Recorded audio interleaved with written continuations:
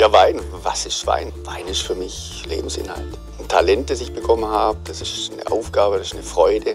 Noch ist mein Glas leer. Ich bin heute in Spanien und das mitten im Ländle und zwar beim Pablo im spanischen Restaurant Cosita in Balingen. Pablo hat heute zu einer Weinprobe geladen.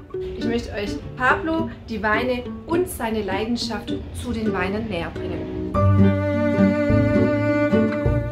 Leidenschaft zum, zum Wein entsteht im Endeffekt durch die Lehre, die ich gemacht habe im Schloss damals, im Schloss in Heigerloch. Und dann beginnt es, du riechst in Wein rein und du, du riechst halt nicht nur Wein oder Frucht, sondern du riechst auf einmal einen Apfel und du fragst dich, ja, wo kommt dieser Geruch überhaupt her? Äh, Wein ist sehr, sehr komplex und doch immer auf, auf ein einfaches ähm, runterzubrechen, auf ganz, ganz einfaches, schmeckt mir oder schmeckt mir nicht. Ja, da kommt es her.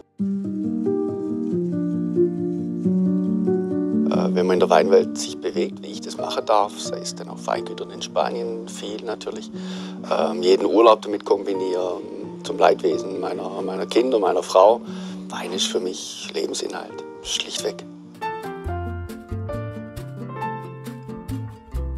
Aber du musst einen Wein erklären und dann musst du über, über diese Erklärung den Wein äh, irgendwo verständlich machen. So, das ist mein, mein Credo. Der zweite Wein hat mich schon total begeistert. Loco. Ein verrückter Wein und der ist kaum zu bändigen. Drum ist der in einer Zwangswäsche drin. Und die Verpackung, ich zeige sie euch. Ein Gefängnis.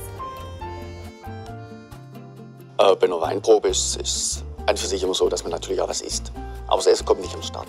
Äh, immer wenn man Aroma äh, oder Essen zu sich nimmt, ist es so, dass es natürlich auch den Wein verändert. Weißwein, Rosé, Rotwein. Und irgendwann kommt der Hunger einfach. Jede Weinprobe, die ich bisher gemacht habe, hat sich gelohnt.